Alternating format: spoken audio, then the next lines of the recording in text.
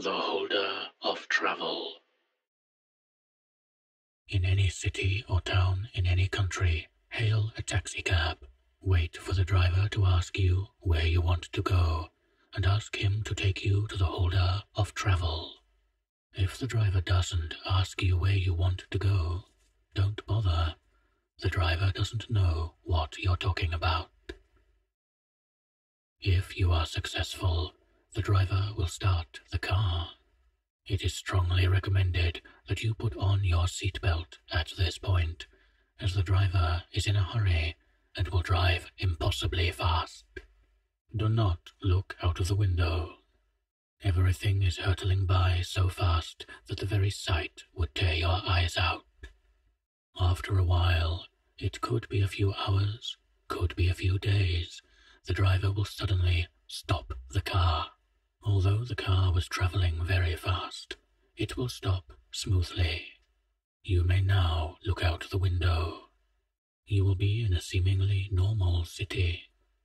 Get out of the cab and approach the window of the driver, and he will ask you to pay him. The amount depends on how long you have been in the car for. Pray that he asks you for an amount in your possession. The drivers in this city do not take kindly to fare dodgers. Once you have paid the man, he will point to a small office across the street. Approach it and knock thrice on the door. What you hear next determines your fate. If a shrill voiced old woman asks you to enter, do so. If, however, she asks you to wait, you may be fortunate enough to die through the horrific torture that awaits you, though it is unlikely that you will, as they are very good at their job.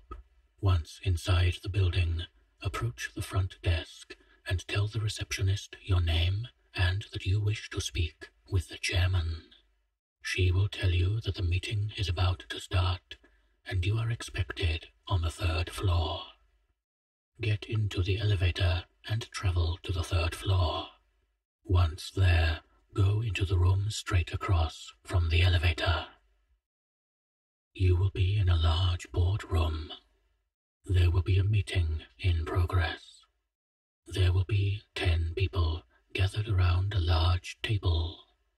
They will be discussing something in a language you won't understand. Put up your hand and wait. The man at the head of the table will acknowledge you with a smile and a nod. Ask him only one question, lest you are slowly and painfully consumed by everyone in the room. How do they travel? The man will answer your question in detail.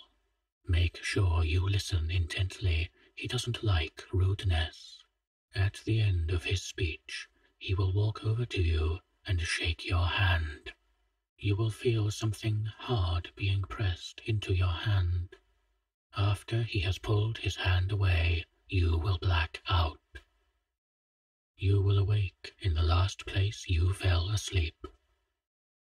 The lug nut you now possess is Object 561. Any wheel you fasten it to will never go flat.